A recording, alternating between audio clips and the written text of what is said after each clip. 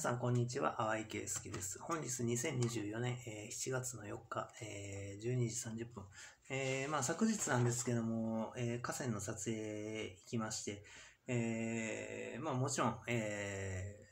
遊んでません。えその日一日中、え前日もそうだったと思います。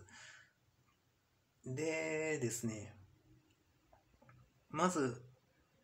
タオジ駅に、まあ、到着した時の時刻は、えー19時40分台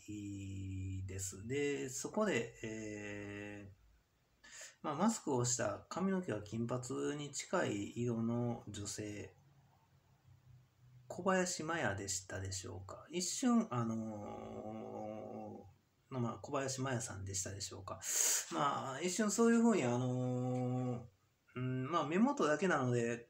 人間顔結構変わったりしますので、まあ、その花山整骨院とかを利用して、あの何か若返りをあの図っていた人間たちはたくさんいたわけで、淡井圭介を利用して若返っていたのか、そうじゃないのかっていうところと、あと、まあ、プロ野球の関係なんですけども、横浜 d n a さんが昨日負けた試合に関して、まあ、途中までは3対2で、えーリードしましたと。で、同点になりました。えーその後9回に頭の中送ってるはずなんですよ。で、横浜 d n a さんに向けて頭の中送ってるはずだったんですけども、まあ、あの2点9回に取られてえ負けてるんですけども、何が起きてたかって言いますと、動画に関して公開、えーするところまで読み込みが終わって、えーで、公開して、で、ホームページ、淡井圭介の履歴の一番から、あのー、加古川水系の方の、あのー、美濃川だとか、西脇市のあたりまでだとか、まあ、笹山市も含めてですけども、あのー、河川の撮影してます。かなり上流のところまで。で、その動画が一番から閲覧できるようにしたんですけども、再び見たら消えてたんですよ。その間に2点取られてたんですね。で、まあ、まあ、ロッテの方は逆転できて、えーまあ、一安心というところだったんですけども、後から結果は知った方です。あのーまあ、ちょっと横浜 d n a さんの試合で、えー昨日のその前の日の試合、えーライト前にヒットという形になってましたけども、多分ライトの選手がダイビングがもっと積極的に前進していたら、多分ノーバウンドで取れてた打球ですよね。だからそのあたりのことで、頭の中の行き先が、あの人間によるものなのか、コンピューターによる判断のものなのかわからないんですけども、あのヤクルトスワローズの選手の方に行ったんじゃないですか。だから、あの、試合に関して、その、意図的な、その、手抜きプレーをしてはならないということに、まあ、なってるわけじゃないですか。な、まあ、あのまあ、まあ、野球だけに限らず他の試合もそうなんですけども、そうじゃなかったらお金を払って見に来たお客さんに対して、あの普通はまあ申し訳ないという、まあ、気持ちの部分はあるとして、えー仕事をする、してる人間として、それしちゃダメでしょっていうことになってくるわけじゃないですか。だって、そんなん八百長だったら、そういうことだって、えー分かってたら、見に来てないよ、お金返してよっていうことになってしまうわけじゃないですか。集団訴訟とか。だからまあ、あのーその辺のところで、えー昨日の試合、頭の中の行き先が、そこそこは送ってたんですよ、結構な量。だから、なぜ横浜 DNA さんが DNA さんが負けたのかなというところで、という不可解なところがあるのと、あと、テレビの放送の仕方で、その、あの、報道自体がもしトラだったらっていう、よくわからないワードの、あの、放送してたわけじゃないですか。まるでトランプ大統領のことなのか、阪神タイガースのことなのか。あの今の結果の出方を見ると、昨日もし横浜 d n a さんが勝っていれば、広島カープさんとの、えー差は1ゲームまで、えー、縮められてるわけじゃないですか。だから、昨日、それによって阪神タイガースの方の順位が今2位に来てる時点で、うん、これをみな、皆さんでね、あの、AI とかコンピューターの稼働についてどう判断するのかっていうところだと思うんですよ。なんか変といえば変でしょう。まあ、頭の行き先とかを自分で選べてるのか選べていないだとか、まあ、多分コンピューターの方もいろんなルールがたくさん、あのー、組まれていて、まあ、判断がしづらい状況になっていたのかもしれないです。っていうのは、あの、昨日の、あのドジャースの試合ですけども、まあ、河川の撮影に行ってます。えー翔平もホームラン打ったりだとか、今までの傾向から言うことを、えー、そういうような結果が出ています。で、昨日の試合に関して、まあ、えー、加古川のある程度の地点まで、えー、JR の駅で来て、まだ試合中だったんですけども、あのー、ある程度撮影区切りがついて、で、昼食をまあ、いただくのを、試合終わるまで待っておこうかなと思ってたんですよ。今までのケースで考えると。だけども、あのー、相手チームにリードされていて、えー、2アウトまで来た時に、あ、もう今日もダメなのかと思って、けど優しい方のルールもあるし、どうだろう、食べた方がいいのかなと思って、まあ食べたところ、逆転してるんですよ。だちょっとあのルールのところもよくわからない部分とかがたくさんあって、これ人間があれこれ言い始めたときに、あの、AI の方とかはどういうふうに判断するんだろうっていうのがあるんですよ。いや、だからまあ、矛盾してるわけじゃないですか、ルール的に。だから試合中に、あのー、ご飯を食べない、だからそれで1点差がつくだとか、えー、試合中にシャワーを浴びない、それで、えー、合計すると2点差だとか、その日まだ遊んでいませんだとか、いっぱいいろんなルールがあるわけじゃないですか。で、まあ、そういうようなところを考えていくと、うん、まあ、だからその、プロ野球の球団の方から、あの立場からすると、淡井圭介さんの状況が分かってると。もうやりすぎであると。早く彼にお金を払ってあげなきゃならないだとか、あのー、頭の中が行くことによって、あの、まあ、文章を見てもらったら分かると思うんですけども、裁判用の文章、今はまあだいぶ綺麗な書き方で、えー、簡易裁判所に提出してますけども、以前の去年に提出した内容はかなり分かりづらいと。今までの件が分かってる人だったら、えー、すんなり受け入れやすい内容なんですけども、ちょっと分かりづらい、えー、それまでの経緯とかが分かってない人が見ると、というような、えー、内容になってしまったりだとか、やっぱり頭の中渡していたら、やっぱり自分が能力低下しますから、それはそれでまあ裁判とか訴訟とか進みづらくなったり、まあ日々の生活とかに支障がきたされる。まあ、こういった部分があるんですけども、そういうふうな部分があって、だからまあ、あの、河川の撮影とか、あの、かなり、えー、厳しい状況、まあ、体力のいることですから、1日まあ、30km 以上歩いたりするわけじゃないですか。昨日は基本的に、あの、バスとか電車を利用して、えーかなり広範囲のところを撮影しまして、まあ、交通費の方がだいぶかかってしまうんですけども、まあ、それによって、まあ、大体、まあ、加古川水系に関しても、大体今のところまでのところで、えー、一旦撮影は、えー、ここまでというようなところまで、えー、撮影できています。まあ、とにかく、そこまで指摘した部分のところを、とにかく作りましょうと。それから先、上流のところの部分は考えましょうと。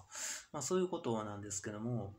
うん、そのプロ野球の方の立場からすると、なんかまあその優しい方のルール、河川の撮影とか行って頑張ってる時ぐらい食事させてあげたら、ドジャースが勝ったっていう形。でまあ僕もあのテレビに向かって言う方法で、まああの大谷翔平に、あの、ワードシリーズの優勝の、えー、経験をさせてあげたいと。こういうことを言ってたわけで、それは多分アメリカの球界の人たちも知ってる人は知っていて、で、多くの人たちがドジャースに集まってきてくれたと思うんですね。山本由伸投手もそうだと思うんですけども。まあ、まあ、あのー、それと、まあ、もう一つ、私の方でしっかりと掲げているのが、あの、まあ、電波による、その、AI とかによる作動とかもありますから、かたやワールドシリーズまだ優勝したことのないチームは優勝するべきであると。まあ、こういうふうな、あのー、内容で、えー、まあ、メジャーリーグも、あのー、物事が進んでいる状況であって、今日の試合に関しては、えー、7月4日、日本時間と時刻なんですが、先ほどパドレスの試合が終わりまして、パドレスの試合が終わってから、まあ、あのー、撮影してるんですけども、まあ、2点差で勝って、えー、ホームページにしっかりと、えー、パドレスって書いてるんですよね。で、やっぱりそこまでしなかったらなかなか難しいのかなという部分も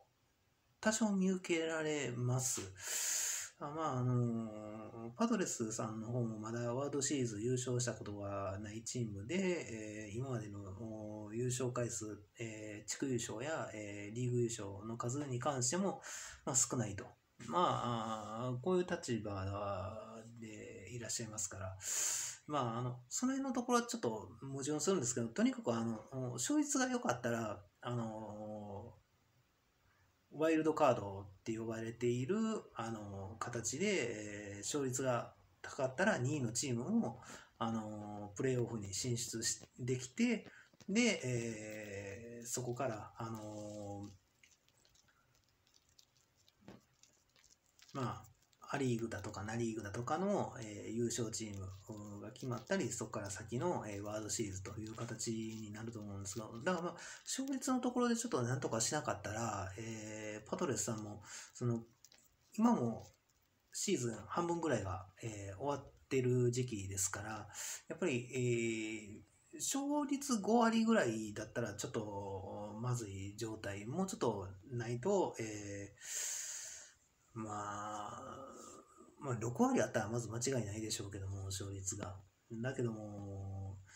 まあ、5割7、8分ぐらいでも、まあ、プレーオフに出れるんじゃないかなというのが、まあ、大体毎年の、あのー、勝率の統計ですけども、まあ、そのあたりを狙っていかなければならないと。えー、まあ、そういうふうな状況で、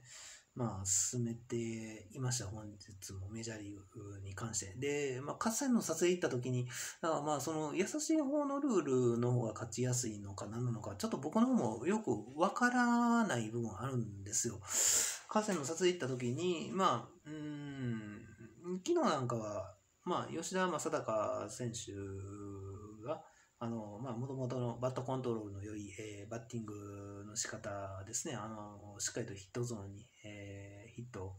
えー、難しいボールも、えー、正直もう内角のボール球までヒットにできてますから、あの、まあ、かなり、えー、調子よく、えー、能力を発揮できていると。えーまあ、鈴木誠也選手もホームラン打っていって、大谷翔平選手もホームラン打ってると。だ日本人としての結果としてみると、まあ、河川の撮影行った時は結果が出てます。かたや、チームとして見ると、まあ、ロッキーズさんが、えー、勝ててなかったりだとか、まあ、まあ、他にもあの、まだワールドシリーズ優勝したことのないチームのところ、まあ、まあロッキーズさんに関しては本当に謎です。地区優勝の優勝すらなかったような気がするんですよ。で、極端じゃないですか、成績が。だから、よっぽど何かなかったら、あんな風な成績にはならないと思うんですけども、まあ、あのまあ、日々あれこれ取り組みながら、それプラス、春山整骨院からからかってくる連中が、えー、いてという状況ですね。だから、一応、うん、まあ、これは警察官の意図でもちゃんと、あの許可はあるんですけども、家の中から誰か外からこう、ものを言ってくる人間っていうのは、それはもう撮影して OK だと。それはこの間の佐藤っていう警察官の人も、えー、マスクしてる人ですけども、それはしっかりと認めています。他の警察官の人も同じですよ。で、一応家帰ってきてから、その、まあ、録画のスイッチを押しておいて、えー、そうすれば相手からこう、喧嘩売ってくるようなこと、あの挑発行為、要するに民法とか、まあ、民事訴訟とか刑事訴訟の違反になるような挑発行為、そういったことを、えー、あそれもあのお金、損害賠償金とかそういう話につながってきます。刑法で言うと、まあ、そういうふうな罰金の方もありますし、まあ、あの、連れて行かれるようなケースもあります。回数が多すぎるんですよ。羽間整骨院の場合。グループとして組織化されてしまってるから、犯罪、組織的な犯罪にまで結びついてきてしまうんですね。併合罪と累犯荷重。あなたたちは同じこと一体、一回、一体何回してるのと。ね。もう十何年ですよ。再度オープンしてから。で、一度建物解体されて、えー、ね、裁判所の判決あって建物を解体してるはずなんですから、そこでもう一度お店をオープンさせたら、その時点で経営者捕まらなきゃならない話なんですよ。法律で言うと、裁判所の判決で言うと。判例に背いた即逮捕ですよ。で、そこに集まってきてる連中だから、もともとも悪いことしてきた連中ばっかりが集まってきてる。で、それをかばうような警察官が現れたら、やっぱりその警察官も怪しいと思っておいた方がいいです。本当に。で、昨日もその、横浜 DNA さんが2点取られた時の9回、えー、春山整骨院から、えー、僕より年配だと思われる女性の声で、えー、こちらを馬鹿にするような言い方、言ってきます。笑いながら。過度な挑発行為ですね。それどころか、あのー、だから、うん春山整骨院にいる人間とか淡い圭介の頭の中読み取ったりしてるでしょ。だからその辺のところで、プライバシーの侵害だっていうことを分かっていない。自分から情報を発信してるわけじゃないから、それが分かってしまってる人間はプライバシーの侵害なんですよ。だから違法行為側の方が優位になってしまってるから、彼らに本当の淡井圭介さんの考えてる内容とか伝えたらダメですよっていうことにしておかなきゃならない。コンピューターの設定で。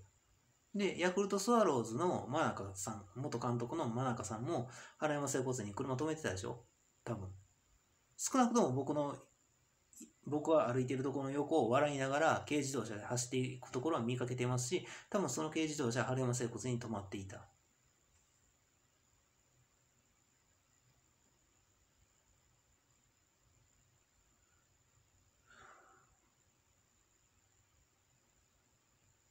まあ、なかなか、まあ、日々、え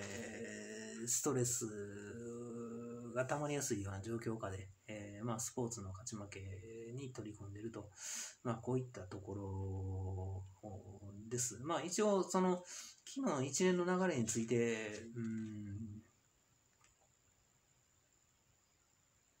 いやその原山整骨院もね、あの小林麻也とか、小林麻也だけじゃなくて、他の人間とかも、あの、多分そこだと思うんですけどね、あの、体を揉ませていたとか、そういうような内容。あの、伊藤聡子っていうアナウンサーの人も、多分昔フルーツラパークに来た方だと思うんですけども、1998年前後ぐらいに。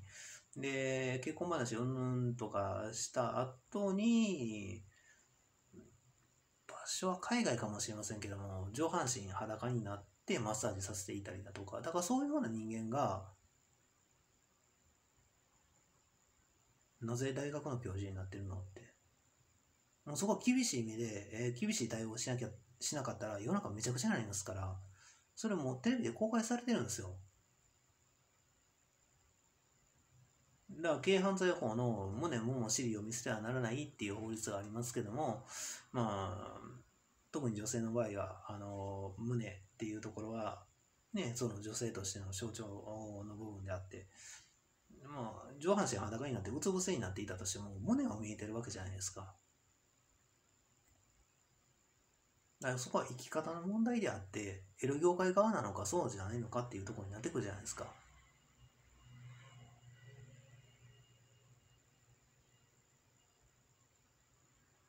で、その元々の発端が春山整骨院だったような気がするんですよ。それが1999年だとかそれぐらいの頃。で、すぐに、あのー、建物、入り口入れないように木の板、分厚さ、うん、5センチぐらいありそうな分厚い木の板をこうペケポンで、長さ2メートルぐらいの打ち付けられていましたね。で、その後、2003年には建物解体されています。春山整骨院に出入りしてる人間っていうのは、相当何か、えー、悪いことをしてる人間であって、で、まあ、小林前に関しても、うん、テレビで放送されていたのか、裁判所経由で僕の自宅の方に流れてきてた映像なのかよくわからないんですけども、その伊藤佐藤さんと同じような、えー、状況下にあったと。で、思わせてる人間は別の男であって、多分その男と結婚したのかどうかとか、まあそういう話になってくると思うんですけども、まあ、その辺のところが、あの、あって、だからテレビ出てる、淡井圭介と結婚話をしてテレビ出てる人間って、多分みんな不良が髪の毛染めてる側の人間で、えー、エロ業界とこう深く関わっていた人間っていうことなんだと思いますよ。春山整骨院に集まるのやめなさいって言われたらもうやめなきゃならないんですよ。でそれまで集まって今までしてきたことに関して、えーまあ、金銭を持って償わなきゃならないと。こういう形になります。で、じゃあ、2003年建物解体された時に、淡井圭介に誰がお金を支払ってくれたんですかっていうことなんですよ。じゃあ、許可を出していたのは行政で、まあ一応まあ警察官の人たちとか動いて、あの、状況をしっかり分かっている人たちが、まあしっかりと対応してくれてたわけなんですけども、だけども、被害、一番の被害者である淡井圭介にお金が入ってきてないっていう。そこおかしいじゃないですか。だから警察の方でも、まあ、あの、まあ、厳しい意見に聞こえるかもしれませんけども、余計な建物を建て始めたら警察の方で即座にその工事をやめさせなきゃならない。これが本当のことですよ。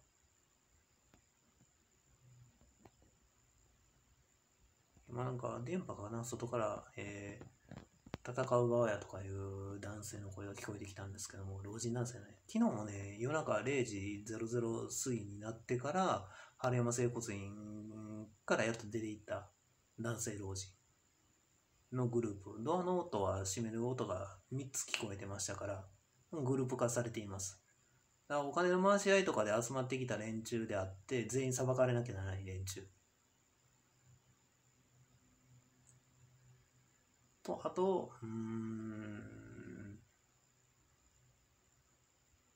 春山整骨院が存在することによって電波でいろいろ聞かされてる可能性もあるんですよ。だから、家の中にいながらでも。だからそれはそれで裁判妨害ができるわけじゃないですか。自分たちが訴えられる立場じゃないですか。で、医療業界ともつながってるでしょ。だから精神病院云々の件の話、9回もえー、入院させて、1回の入院が2ヶ月20日以上。あその損害賠償の金額はなかなか大きいですよ。まあ、慰謝料だとか、まあそういった形になります。だから慰謝料に関して、その時本当は払っておかなきゃならないから、えー、かける、えー、金利だとか、組み込み、元本の組み込み。1年経過した後、民法の。まあ、その辺のところ今、裁判所に提出している内容のところを見てもらったらわかると思うんですけど、法律名しっかり出してます。民法の何々って。他にも、えー、様々な法律名出してますけども。あとはまあ僕のホームページの方から、エロ業界関係の人間だったら、えー、これだけいろんな違法行為がついてきますよと。それも僕は分かっているごく一部の部分だけで、他にも多分他の法律もいっぱいついてくると思いますよ。刑法の方で。あとはそれに関係するあの法律で。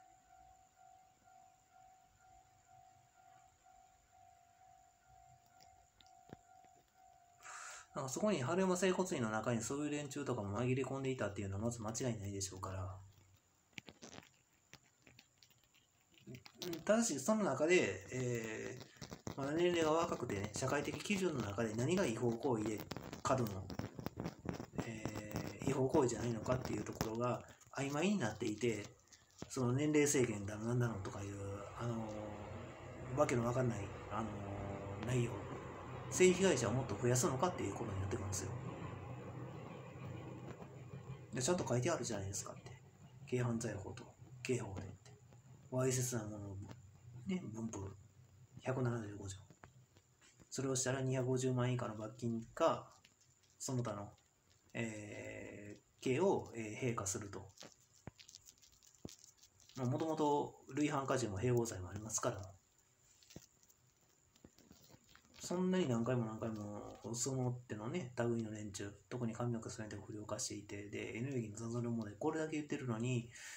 それに向かって真面目に対応しないで、車ですぐに、えー、乗りつけてくる連中、それだけで過度な挑発行為ですから。老人になって権力者になっただとか、経営者になったとかで、調子乗ってる奴らがいっぱいいると、存在すると。まあ、まあ、こういうことになるんですよ。一人一人裁判所に出てきて、もう全員名前と住所、電話番号を押さえて、世間に開示ですね。裁判所で、えー、判断下ったら、あとは世間に開示ですよ。公示です。大阪の裁判所とか行ったらもうすごい数が、紙がずらーって並んでますから。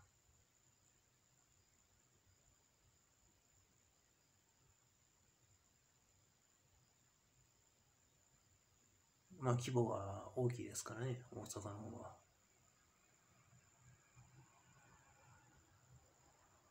もう、もう、あの、貼り付けておけるところもいっぱいになってます、いつも。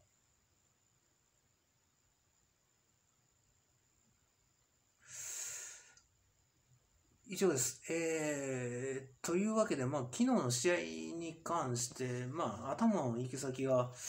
いや、まあ、だから、ヤクルトに行ってたっていう可能性もあるわけじゃないですか。えっ、ー、とね、時刻は21時、まあ、17分ぐらいに、その、横浜 DNA さんの試合が終わったわけじゃないですか。インターネット上ではそうなんですよ。だからこれ、あの、かといってダゾーンとかにそう簡単に加入できるかって言ったら、僕の方としても、まあ、お金のところで、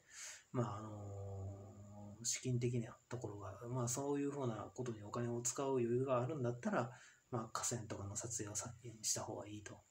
まあ、こういうふうな状況ですから、まあ、一応、うんまあ、ロッテの方に頭の中行ってたっていう可能性もあるのはあるんですよ。で、その前日、昨日のその前の日の試合のその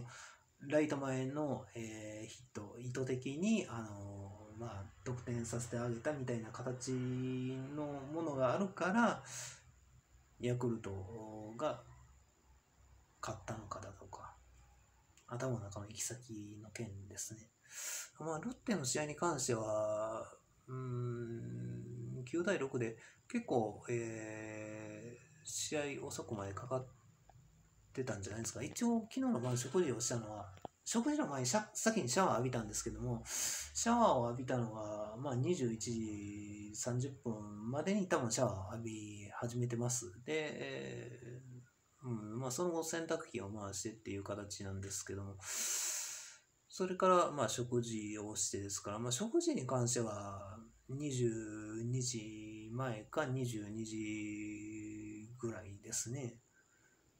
だからまあその辺のところですでにまあロッテのロッテさんの試合は終わっていたのかどうかだとかそれによって動いてた得点はあったのかなかったのかだとかだからまああの河川の撮影に行った日ぐらいのその優しい方のルールだとか多分もうごちゃごちゃになってしまってると思うんですよ。一応そのルールがなかったら、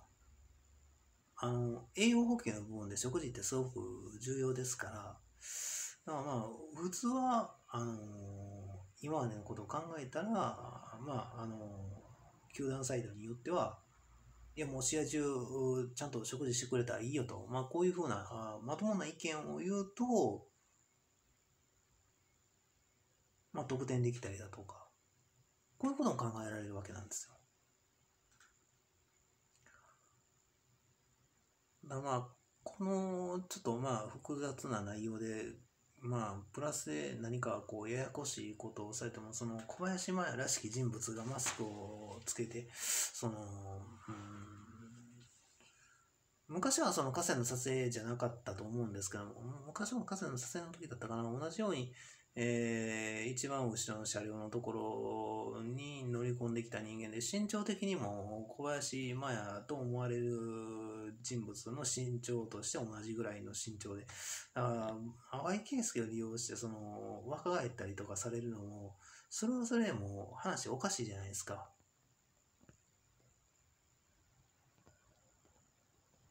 人として行って良いことと悪いことで、多分テレビ出てる人って、出生地とか出身地とか、どこかへ引っ越ししたとか、それ、どこかで嘘を入れてるでしょう。で、それで、その地域には住んでいないみたいな形にして、えー、本当は小林麻也元アナウンサーと小林真央アナウンサーって兵庫県西宮市の出身だったんじゃないですか、もともと。その話整合性合ってくるんですよ。だから僕は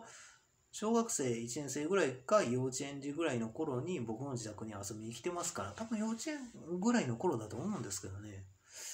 小林麻也真央。か僕は小学生1年生2年生ぐらいの頃なんせ弟が生まれたのが僕は小学生2年生の頃だったのでその年で3年生になる年で、えーまあ、2月生まれなんですけども弟はだから、それぐらいの頃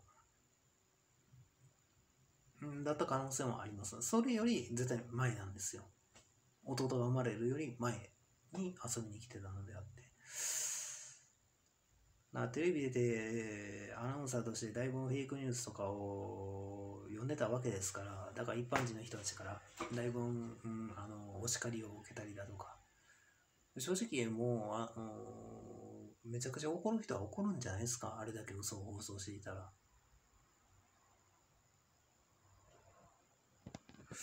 まあ日々そういうあの大変な中で、えーまあ、試合の勝ち負け取り組んでたんですが、まあ、昨日の試合に関して佐藤輝明選手が、あのホームラン2本打てたっていうのは、まあ、良かったなと思っています。まあ、今、合計今年何本ホームラン打ってるのか、ちょっと調べてみなければわからないんですけども、まあ、ままた今年4年連続で20本以上を打てる可能性も、まあ、まだあるんじゃないでしょうか。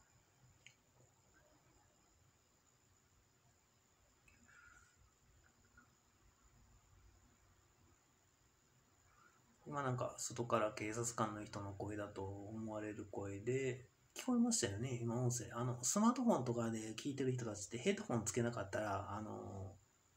声とか音とか、あの、しっかりした音声、えー聞き取りづらくなってますので、しっかりとしたヘッドホンとかで聞いてもらいたいんですけども、そのままだったら買ってしまいますよっていう声が聞こえたんですけども、電波の方なのか、人の声なのか、警察車両があったので、うーん、そのままだったら買ってしまいますよっていう意味がちょっとよくわからないですね。だから対象とされてるチームが多いから、今の、例えば、えー、ドジャースの試合のことを言ってるのか、それとも阪神タイガースの試合のことを言ってるのか、横浜 DeNA さんの試合のことを言ってるのか、わかんないんですよ。あとはロッテさんとか楽天さんだとか。ただ、ちょっとね、あの、ここ数日前から王貞治さんの声とかが聞こえてきていって、まあ、それでだんだん、昔もバレていった方だ、バレた方だと思うんですけども、そのソフトバンクはね、えー、うん頭の行き先の件ですね。阪神タイガースの試合って、基本的に同点で、えー、後半戦まで、あの、イニング、イニングはこう後半戦まで、えー、続いていく試合が多いじゃないですか。だから、その間、頭の中、ソフトバンクの方に行ってましたっていうことになってくるんですよ。まあそういうふうなところで、えまあ、事実検証だとか、あのーその辺のところ、えー、うん。だからやっぱり、まあ、だから、うん、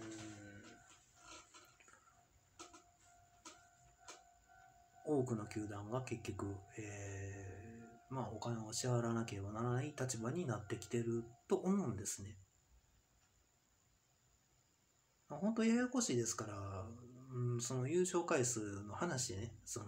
しっかりとどこが優勝するかっていうところはもう前の年から言ってるんですから、うんそこはもうきちっとあの頭の中の行き先とか、えーしっかりと、えー決め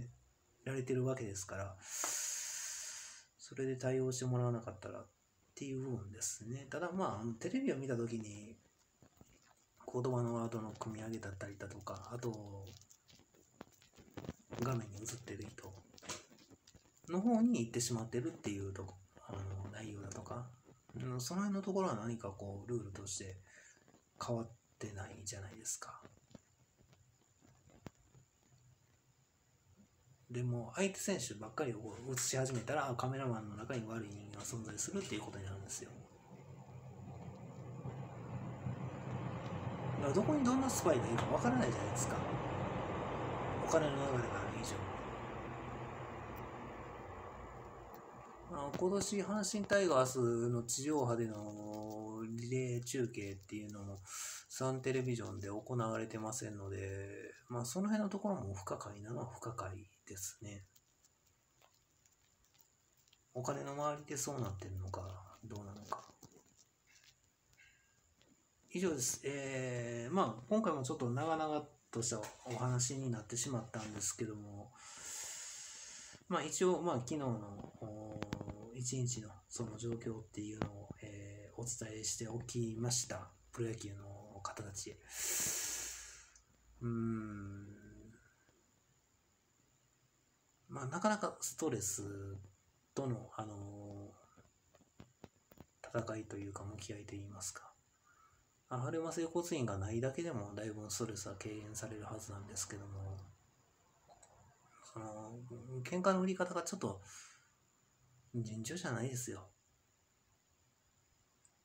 それを完全に楽しんでる連中が集まってきてますから、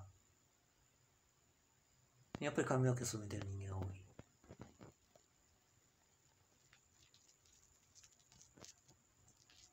もう大体話整合性ありますね。というわけで、えー、うん。まあ僕のその会員裁判所に挙げた裁判の方なんですけども、まあ始まるのは9月の5日木曜日10時10分から、まあ2回の、えー法廷で、まあ、開かれるんですが、まあ、あのどうなることかということですね。と、あと、多分9月に法廷を開くっていうのも、多分8月9日の話の部分で、まあちょっと様子を見ようとしてるんじゃないかなと思うんです、裁判所としても。まあまあ、あの、僕も、まあ、8月9日を超えても何も物事が進んでないようであれば、その辺込みで、えーさらに裁判所に、えーまあ、証言として、今のところ、まあ、高島彩だけですけども、あの証言、まあ、190条の方ですけども、